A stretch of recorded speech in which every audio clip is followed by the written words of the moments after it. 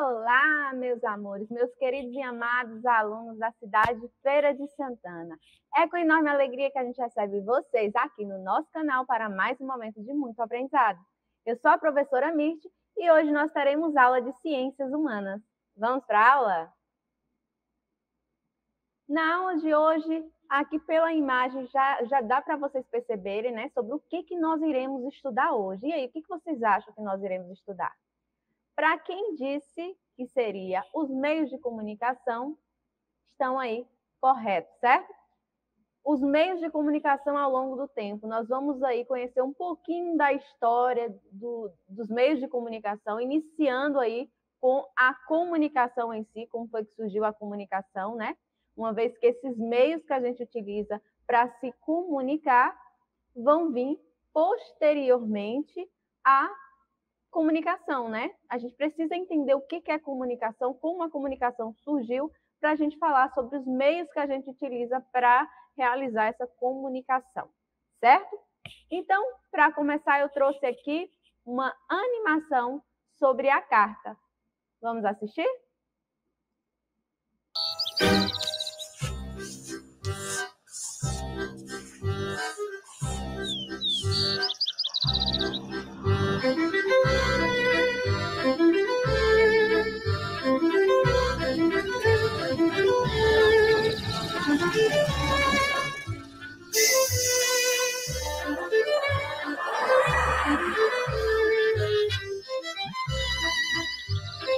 Bye.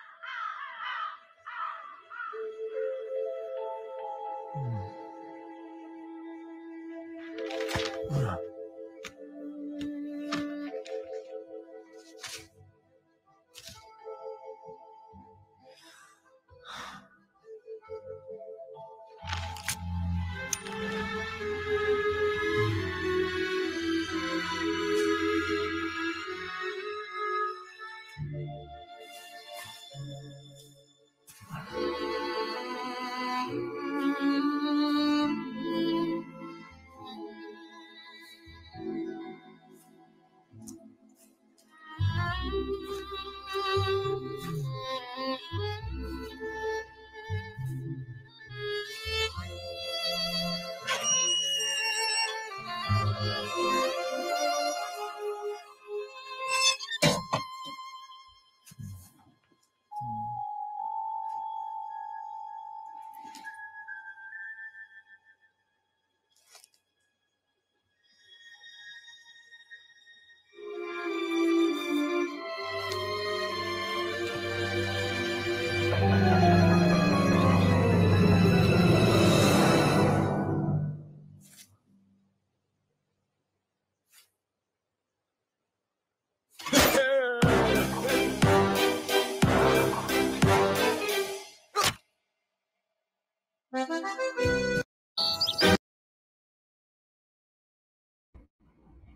Essa só foi uma animação para vocês conhecerem aí um pouco, né, sobre um dos meios de comunicação que a gente utiliza, que é a carta.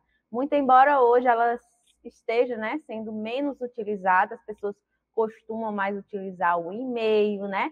Costumam também utilizar as redes, como é o caso do WhatsApp, do Telegram. Porém, a carta ainda hoje, mesmo que em menor quantidade, ainda é utilizada, certo? E o que, que seriam, então, os meios de comunicação? Os meios de comunicação, é, ele refere-se ao, ao instrumento ou à forma de conteúdo que é utilizado aí para a realização de um processo comunicacional, certo?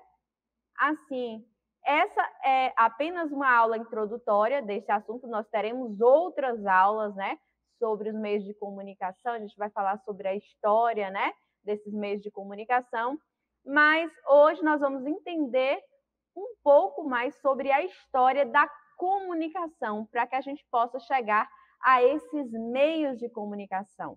Como eu disse para vocês, os meios de comunicação referem-se ao instrumento, à forma de conteúdo que é utilizado para esse processo aí de comunicação. Então, seria o quê? Os dispositivos que são criados para possibilitar a comunicação entre as pessoas.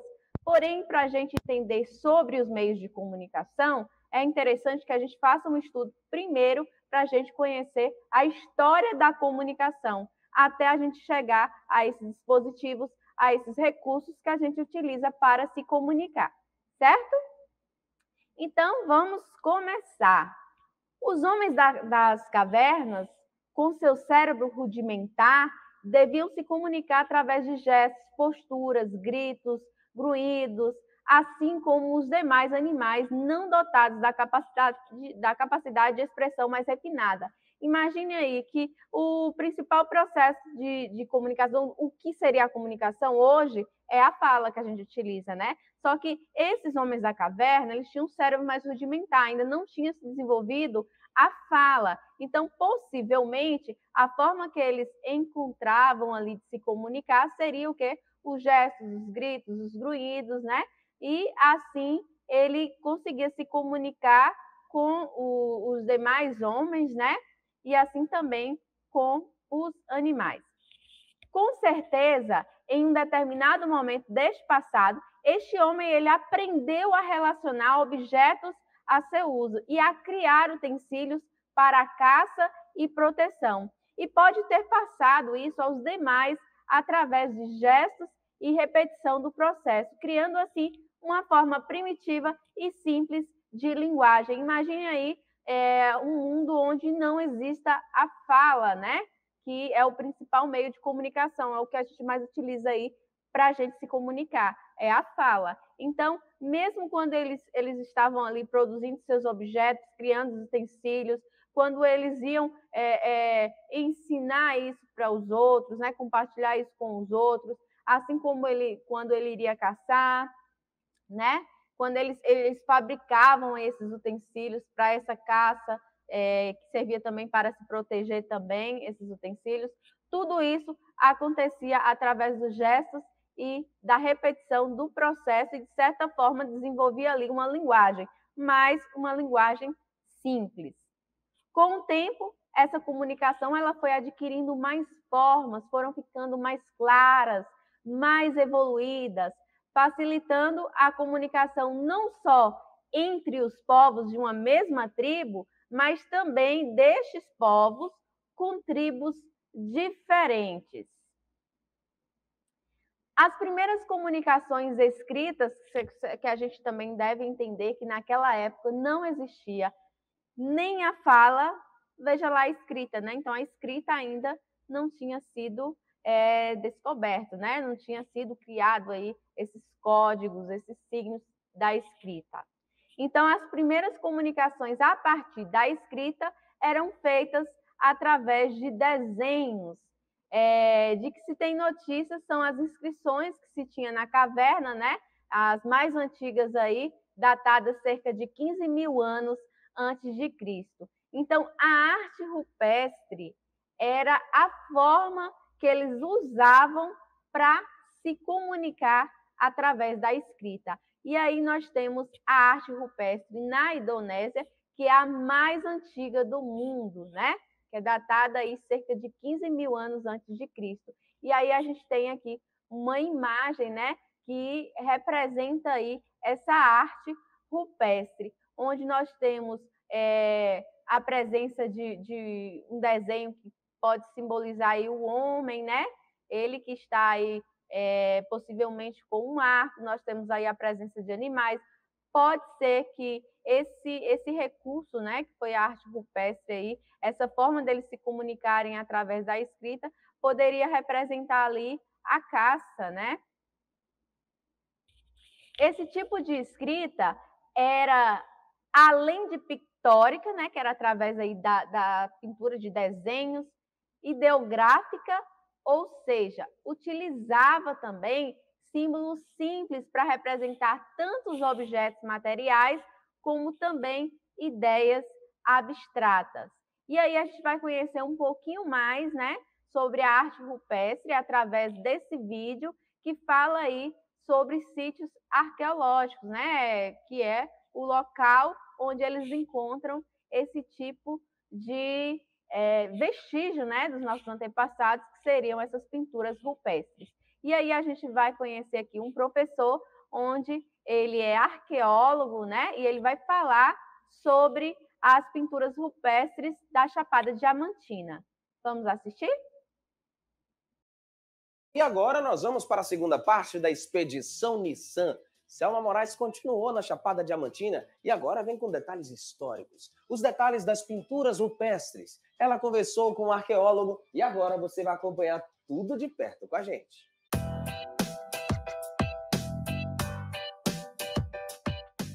Poucas pessoas sabem que na Chapada Diamantina existem mais de 100 sítios arqueológicos.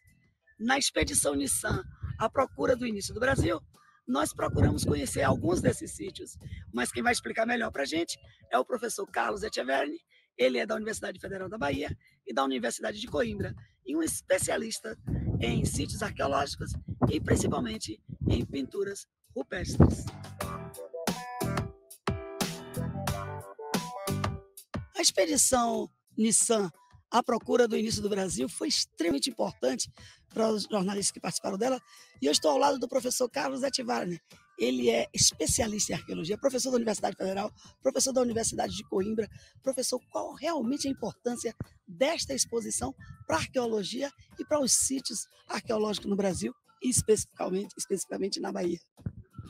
Bem, é, nos interessa muito porque eh, desta forma, né, com essa iniciativa da Nissan de trazer jornalistas de áreas que não são especializadas, eh, ajuda a divulgação dos, uh, dos trabalhos de arqueologia, das, da, dos conteúdos das, científicos que a arqueologia produz, mas também ajuda a conhecer os, loca os locais onde eh, os sítios se encontram. Eh, temos uma séria deficiência de informação eh, de todos os aspectos com relação à arqueologia, arqueologia da, da, arte rupestre, fora do âmbito eh, científico, fora do âmbito dos especialistas. Temos pouca penetração na sociedade eh, comum, né, ou seja, de não especialistas, né, eh, com relação a, a a transcendência de, das informações que a gente produz. Né? Eu acho que esta iniciativa da Nissan eh, ajudará, eh, sem dúvida, a promover eh, a divulgação dessas informações. Professor, é, arte rupestre, o que, que significa para o nosso telespectador? É, são, é, para dizer das formas mais fáceis, né, uma forma de expressão gráfica, ou seja, não deixa de ser uma escrita, que usavam as populações anterior à chegada dos portugueses para se comunicar. Ou seja, são sistemas de comunicação através de motivos gráficos pintados sobre paredes rochosas. Exatamente essa parede rochosa que nós estamos aqui e onde nós temos aqui a, a clara expressão do que é, é, do que seria esse local que nós estamos, que é a Serra da, das Paridas. Explica um pouquinho para a gente o que significa isso aqui.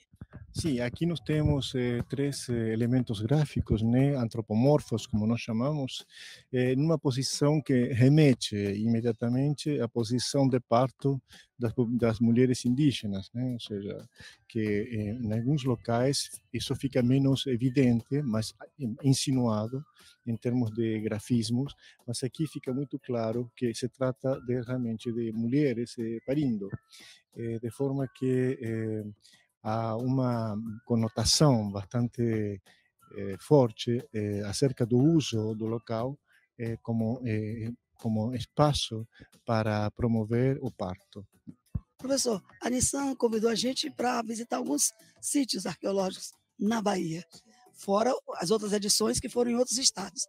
Aqui nós estamos na Chapada Diamantina, tem mais de 100 sítios. E nós visitamos, parece que os principais. Como é que o senhor vê esses sítios aqui na Bahia? Nós temos sim eh, centenas de sítios, na verdade. Alguns deles estão cadastrados, são aqueles que a gente visitou e registrou no Cadastro Nacional de Sítios Arqueológicos. Mas temos informações eh, extraoficiais de que tem inúmeros sítios espalhados. O que é muito interessante pensar de que esses sistemas gráficos eram muito eficientes para essas populações, porque funcionavam. Eles se comunicavam realmente um com os outros, passavam alguma mensagem. Né? Para a gente encerrar, como é que o senhor vê o futuro daqui para frente em termos da divulgação, que é basicamente isso que a também Missão fez com a gente, com relação aos sítios aqui na Bahia? Bem, a gente espera, eu espero e desejo, né, de que os locais se tornem pontos de visitação né, de pessoas realmente interessadas, que conheçam é, é, um pouco da história é, anterior à chegada dos portugueses via essas expressões gráficas. Além disso, por acaso, e talvez nem tanto por acaso, os locais eh, onde eles se encontram são eh, fascinantes do ponto de vista paisagístico, vale a pena. Então, o senhor convida a galera agora para vir para a Chapada Diamantina visitar algum desses sítios. E desses que estão aqui, qual o mais bonito para o senhor? Sim, Serra das Paridas, sem dúvida, aqui em Lençóis é um ponto de referência, vale a pena.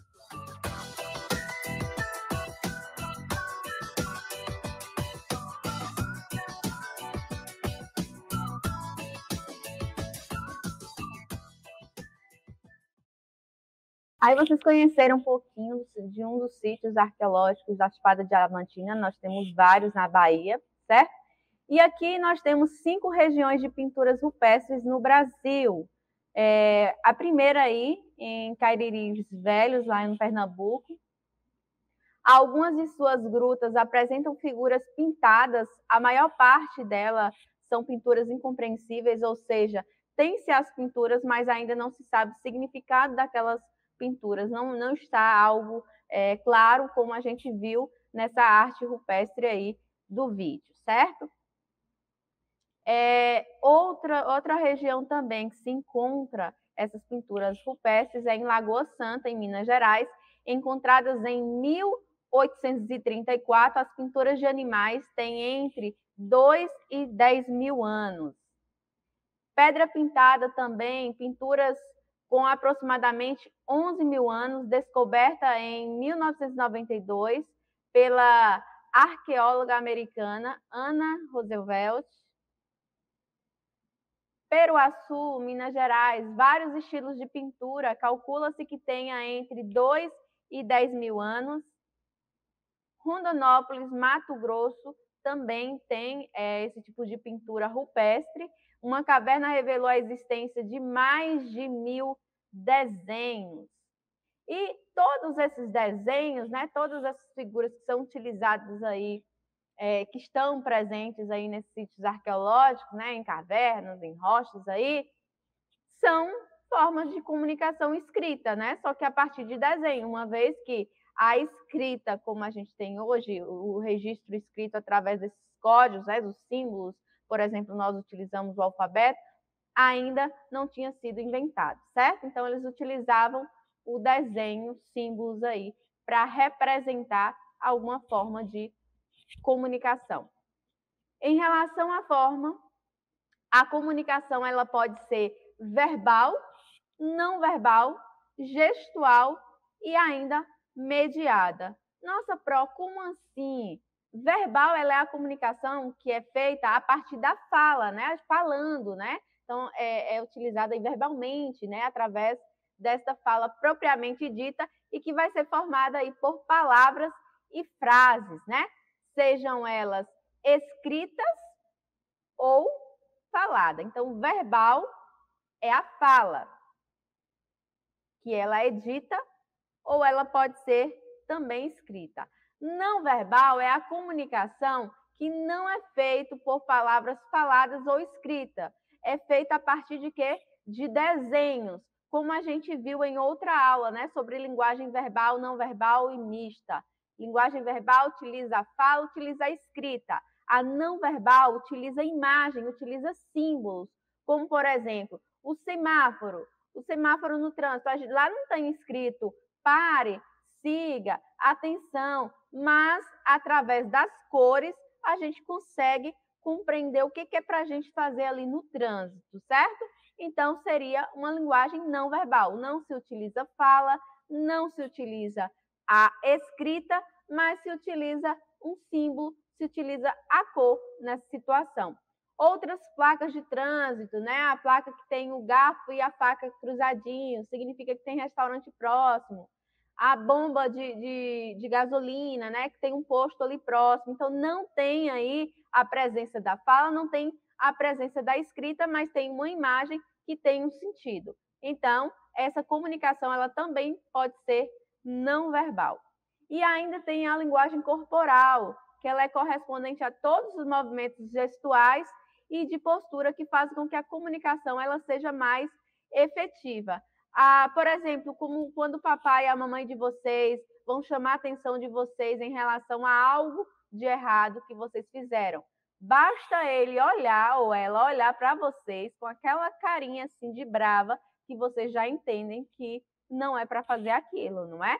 Então, essa é a linguagem corporal. O corpo da gente fala.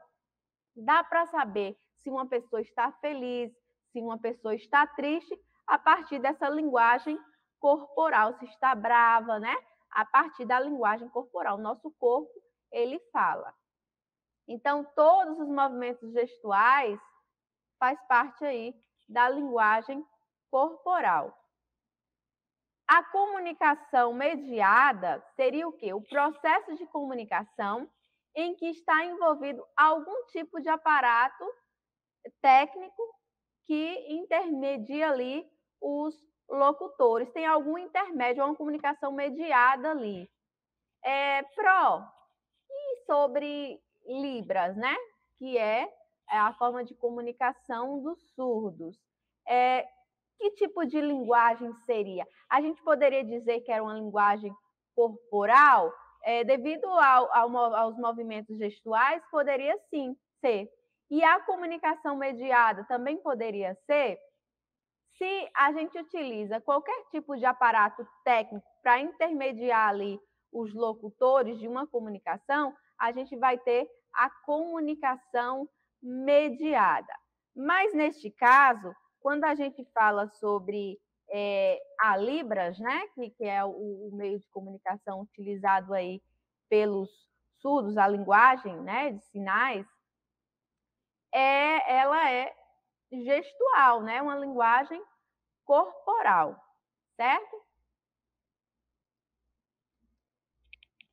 Meios de comunicação, o que, que seriam então os meios de comunicação? A gente viu que tem a linguagem verbal, linguagem não verbal, linguagem corporal, linguagem mediada, mas nós temos os meios de comunicação, que são as ferramentas que vão permitir que duas ou mais pessoas possam trocar informações. E existem dois tipos de comunicação, de meios de comunicação, né? São esses recursos, são esses aparatos aí que são utilizados para um processo comunicacional. Existem os meios de comunicação, que são individuais, e os meios de comunicação que são sociais, que são de massa, né? Por exemplo, como é que são esses tipos de meios de comunicação? Os meios de comunicação individual é quando uma pessoa se comunica com outra pessoa individualmente. É o caso do telefone, é o caso da carta, né? Do tablet ali, que às vezes algumas pessoas utilizam o tablet, o celular. Esses são os meios de comunicação individual. Então, é quando uma pessoa se comunica individualmente com outra pessoa. Já os meios de comunicação social, os meios de comunicação de massa, são aqueles em que a mensagem ela vai poder ser transmitida para muitas pessoas ao mesmo tempo, que é o que acontece com o jornal, com a televisão, com o rádio, a internet, entre outros meios, certo?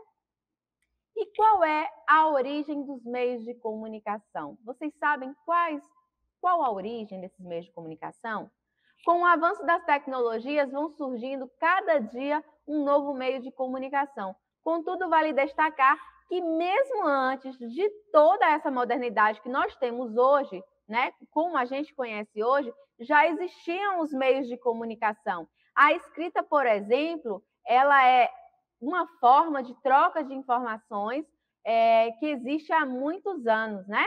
Outra forma de comunicação que é muito antiga é a própria arte rupestre, né? A pintura rupestre também, que a gente viu que data aí cerca de 15 mil anos antes de Cristo. Mas a primeira invenção com tecnologia é, de meio de comunicação, né, dita como mais avançada, foi o telégrafo, que foi criado em 1835 por Samuel Morse, que é essa imagem aí que a gente tem aqui. Isso é um telégrafo. Outros meios de comunicação, então, foram surgindo, né? Posteriormente, como é o caso do rádio, da televisão, do telefone, e que tem crescido bastante em todo o mundo, é, principalmente aí foi a internet, né? A internet vem crescendo aí de forma bastante acelerada. Uma vez que antigamente a gente utilizava a internet apenas no computador, né? Hoje a gente utiliza no celular, no tablet, né? Não precisa necessariamente da gente ter é, essa rede ligada através de fiações, né? A gente tem hoje o Wi-Fi, né? Bom, gente, essa foi apenas uma aula introdutória sobre esse conteúdo. Nós teremos outras aulas que a gente vai aprofundar um pouquinho mais aí sobre a história dos meios de comunicação, bem como a sua utilização, que tem facilitando, bem facilitando, né, muito a vida das pessoas, certo? Bom, nossa aula vai ficando por aqui. Pegue o seu percurso pedagógico, realize as atividades com muito cuidado, com muito capricho. Leia lá as orientações que foram dadas pelo seu professor, pela sua professora, que essas atividades deverão ser devolvidas às escolas de vocês, certo? Eu vou ficando por aqui. Um beijo no coração de cada um de vocês, mas daqui a pouquinho a gente volta para mais uma aula, certo? Beijão e tchau, tchau!